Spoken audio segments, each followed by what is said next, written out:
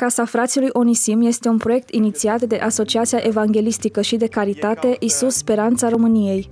Onisimul a fost înființat în anul 1992 în Timișoara ca o necesitate pentru copiii străzii, locuitori ai canalelor și gărilor. La solicitarea pastorului Petru Dugulescu, primarul de atunci al municipiului Timișoara, Viorel Oancea, a pus la dispoziție clădirea situată pe strada Dorobanților numărul 16, unde centrul funcționează și acum.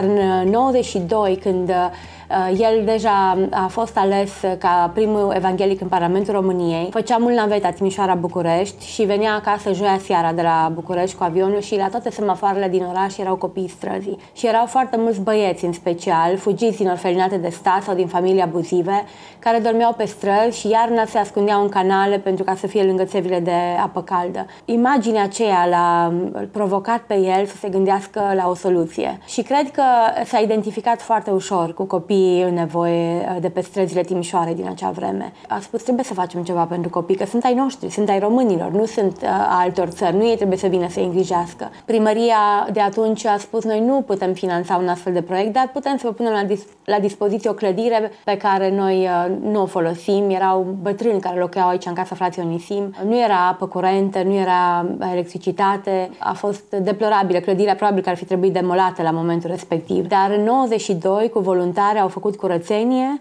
și în 23 decembrie 1992 s-a deschis centrul acesta, Casa Frații Onisim. Activitatea centrului frațilui Onisim a început în data de 23 decembrie 1992 cu șapte copii aduși din canalul din piața 700, iar în scurt timp numărul persoanelor care locuiesc la Onisim a ajuns la 50. Dintre aceștia, 20 sunt tineri, 26 de copii mici și 4 părinți pentru copilași cei mici. Beneficiarii acestui proiect sunt adolescenții proveniți din stradă, centre de plasament sau tineri aflați în situație de criză. A fost și pentru noi o provocare, cum eram foarte tineri când ne-am implicat în 2011 în acest proiect. A fost uh, o parte frumoasă, cei patru copilași, că i-am luat la noi în, în familie. Atunci stăteam uh, în chirie în altă parte, în Calea Șagului și am început să ne jucăm ca și cu proprii noștri copii. Deci noi nu aveam proprii noștri copii, și am simțit așa ceva pen, pentru ei și după aceea am uh, urmat să mergem uh, de Paști, am mers la, la bunicii mei, să vizitez bunicii mei. Și a fost prima vacanță care am ieșit cu ei și atunci s-au închigat, așa ne-am închigat noi cu cei patru copilași care au venit pentru prima oară. Și acolo ne-am dat seama că copiii aceștia au nevoie de cineva care să-i să iubească cu adevărat. Și după ce am ajuns după acea vacanță, am ajuns acasă și la vreo 3-4 zile, o săptămână maxim, ne-a sunat fratele păstor și ne-a lansat această provocare dacă vrem să fim părinți în casa fraților în Sim. Și am vorbit cu Andreea și uh, am decis să, să venim aici în acest proiect. Și e frumos, e frumos mai ales seara când îi vezi pe toți pe lângă tine, când putem stăm, cântăm, mergem împreună la biserică.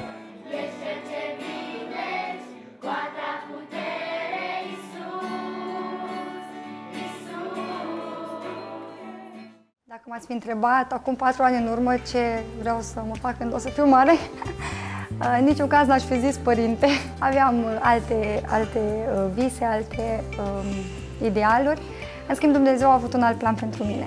Și asta mi-a fost clar în momentul în care am acceptat să stăm și să fim uh, părinți pentru cei patru copilași. Neavând propriul meu copil, nu știam cu ce se mănâncă a fi mamă, uh, dar Dumnezeu m-a învățat pas cu pas, l-am simțit cum a fost aproape de mine și uh, mi-a arătat uh, cum trebuie să iubesc, cum trebuie să îngrijesc. Puțin mai târziu, când a apărut Filip, uh, s-a dezvoltat și acel sentiment uh, matern, să zic așa, și atunci am înțeles uh, și mai bine ce înseamnă să fii mamă și de ce au nevoie copilașii uh, din casă. O parte dintre copii au fost integrați în familia naturală, cei 20 de tineri rămași în centru sunt ajutați să-și completeze studiile, să-și găsească un loc de muncă și să-și depoziteze salariul într-un cont personal pentru a se putea integra în societate. Vizitele noastre la centrul de urgență ne-au marcat, pentru că de fiecare dată când mergeam acolo, copiii s-au obișnuit că luăm ceva copii și uh, ei vor veni la casa Unisim. A doua oară când am fost după grupul de patru,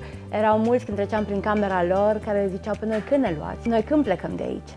Și era așa un moment greu, pentru că noi știam că avem locuri limitate. De aceea, după ce Uh, prima familie s-a stabilit, Ruben și Andreea s-au mutat aici, aveau deja copilașii uh, în familia lor. Împreună cu Laurențiu, Jean, colegii din uh, bordul ISR-ului, ne-am gândit ce putem face să mai aducem, să luăm cât de mult, să salvăm cât de mulți copii posibil. Pentru că uh, ei nu atât de mult caută confort maxim, cât uh, caută dragoste necondiționată și o familie. Și Dumnezeu a pregătit familia care să fie în casă și Marius cu Dana Bălanto, de la noi de la biserică, de la Eclesia, um, au avut o chemare, la fel ca și Andreea și Ruben, de a sluji uh, ca și părinți. Ei deja aveau copiii lor, pe Helia și pe Mario, uh, ei erau deja uh, mari, care am avut și eu la grupa de copii, dar uh, Dana era însărcinată uh, cu al treilea, cu Ștefan. Deci în uh, octombrie, cred, în anul 2013, am reușit să aducem a doua familie în Casa Frații Onisim și am mers la centru de urgență să luăm uh, uh, copilași. Deci așa Dumnezeu ne-a binecuvântat și cu a doua familie și încă mai avem locuri și încă uh, vrem să mai aducem uh, cât, măcar câte un copilaș în fiecare familie pentru că am văzut uh, uh cât de mult au înflorit, am văzut cât de mult au uh, învățat. Mulțumim lui Dumnezeu și familiilor care uh, s-au dedicat pentru această slujbă.